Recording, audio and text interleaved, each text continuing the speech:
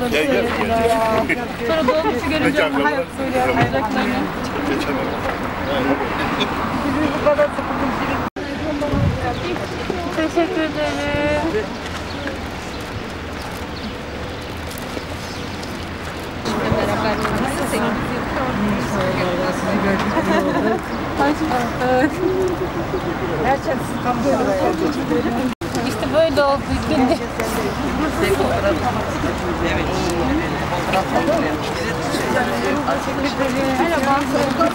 Merhaba.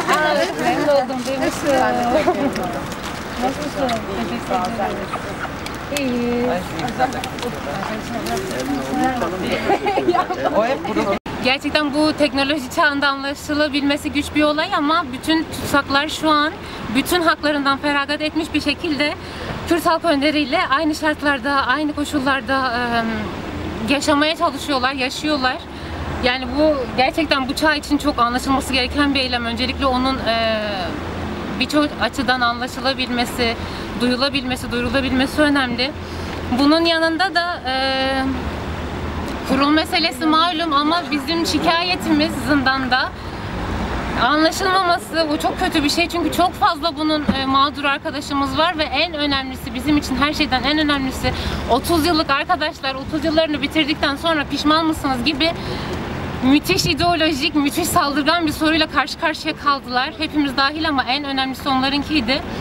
Yani belki bugün idamın kalktığını düşünüyoruz ama öyle değil. Ee, idam diye tanımlanmıştı bu tarz.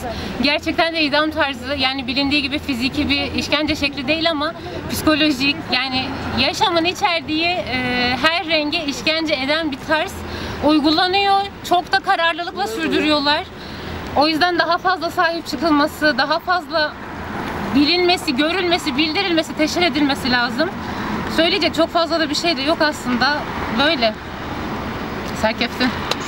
Ee, çıktık ama gerçekten içimiz buruk yani e, buruk bir şekilde çıktık çünkü içeride bir sürü arkadaşlarımızı bıraktık hem de haksız hukuksuz yer şekilde yani bekletiliyor resmen rehin ediliyor yani 30 yıllık e, arkadaşımızın da dediği gibi 30 yıldır içeride kalan hak ettiği halde sadece bu e, önümüze konulan e, e, gözlem kurulu kararlarında bir adete mahkeme oluşturmuş ve bizi orada e, yani illa kendi yani huzuruna çekmek, huzuruna almak, e, onur kırıcı bir e, şey tutum sergilemeye çalışıyor. Ama maalesef ki biz de bu zaten duruma karşıyız, çıkmıyoruz. E, yaptığımız siyaset de legal bir siyasettir ve seçildiğimiz halde e, yani yıllardır kaç işte üç dönemdir haklarımız gasp ediliyor e, seçildiğimiz hakkımızı resmen yani el koyar, gasp eder. E, bu- bunu bir nevi yani hırsızlık, alenen bir hırsızlıktır bu. Biz bunu kesinlikle kabul etmiyoruz. Bunun karşısında her türlü direncimizi koyacağız. Cezaevi olabilir, başka yer olabilir. Neresi olursa olsun baskılar bizi yıldıramayacak.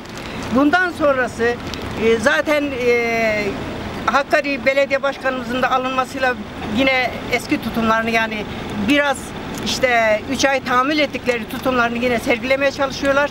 Kürt halkının iradesine kimse el koyamaz, kimse gasp edemez.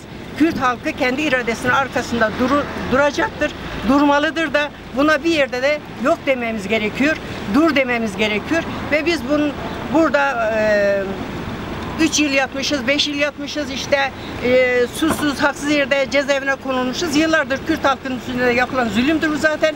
Yapılmış, planlı bir şekilde, uygulamalı bir şekilde yapılıyor. Biz bunların karşısında asla ve asla e, boyun eğmeyeceğiz ve bunun karşısında ne gerekiyor, haklarımızın ne hangi yollar olursa aramaya devam edeceğiz. Biz evet e, çıktık ama inanın biz içimiz buruk çıktık. Çünkü hala 15 kişi en azından orada rehin tutuluyor. Ben de o rehinlerden birisiydim. 2022'de çıkmam gerekirken keyfi uygulamayla bugün çıkıp e, e, tahliye edildim. Arkadaşımız da öyle ama biz boyun eğmedik, gözlem kurulunda tanımadık, çıkmadık.